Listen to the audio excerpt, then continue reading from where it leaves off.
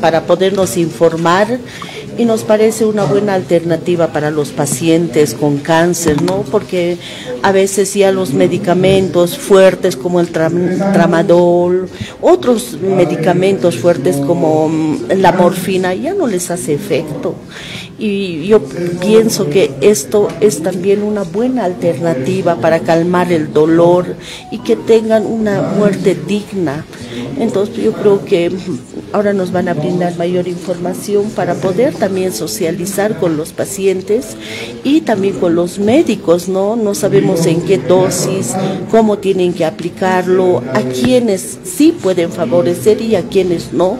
Y lo que nosotros queremos es mayor información sobre este tema y poderlo socializar.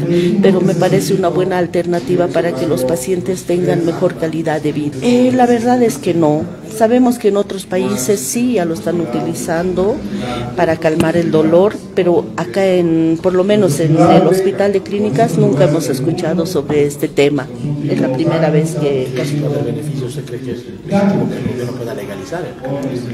Sí, sí, es para dar mejor calidad de vida a los pacientes, no solamente pacientes con cáncer, pacientes también con enfermedades crónicas que a veces no saben cómo calmar el dolor y me parece una buena alternativa, pero también hay que socializar, también eh, nuestra, la sociedad científica eh, también tiene que dar su aval y para nosotros eso es importante. Si se puede dar mejor calidad de vida, nos parece una buena alternativa.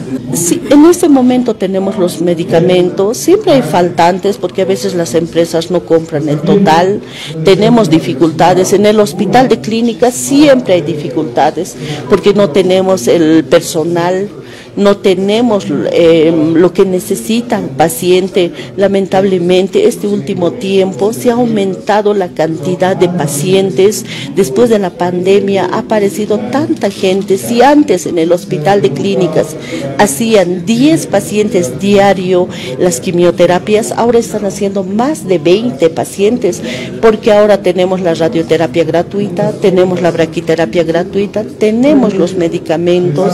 Hay a veces falta sí, pero yo creo que por eso la gente ha venido. Tal vez antes no venía porque no tenían los recursos económicos para poder comprar los medicamentos que son de muy alto costo.